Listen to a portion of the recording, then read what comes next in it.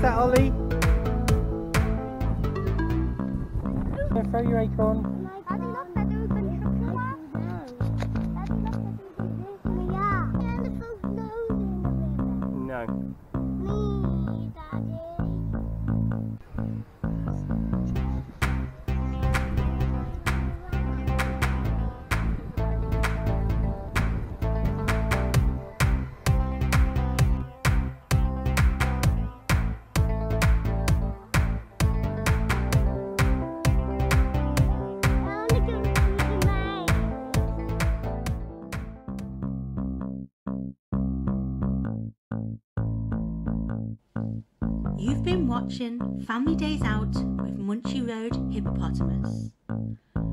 Follow us on Twitter at Munchy Road and on Instagram at Munchy Road Hippopotamus. Drop us a like and don't forget